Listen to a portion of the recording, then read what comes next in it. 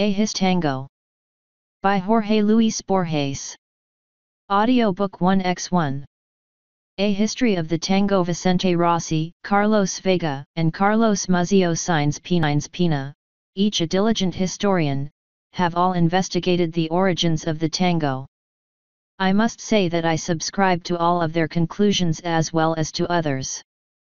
There is also a history of the tango that the cinema periodically divulges. According to this sentimental version, the tango was born in the riverbank tenements of Buenos Aires, the Boca, by virtue of the area's photogenic features.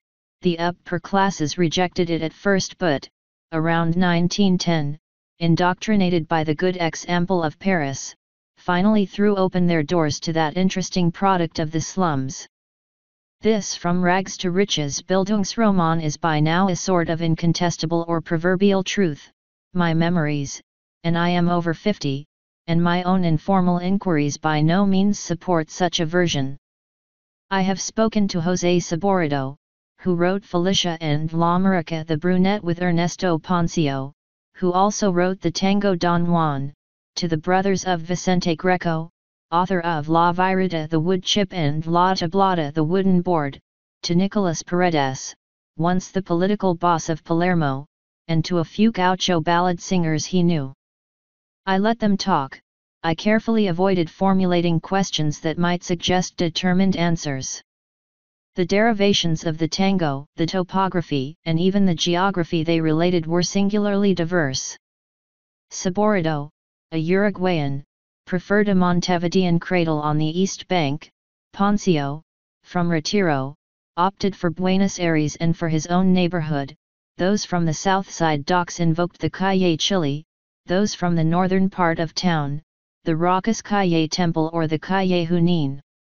In spite of the divergences I have enumerated, which could be easily multiplied by asking people from La Plata or from around Rosario, my advisors agree on one essential fact, that the tango was born in the brothels. And also on the date of its origins, which none felt was much before 1880 or after 1890. The primitive instrumentation of its earliest orchestras piano, flute, violin, and later the concertina confirms, with its extravagance, the evidence that the tango did not arise from the riverbank slums where, as everyone knows, the six strings of the guitar were sufficient. Other confirmations also abound the lascivious movements, the obvious connotations of certain titles, el choclo the corn cob, el fierrazo the iron rod, and what I observed as a boy in Palermo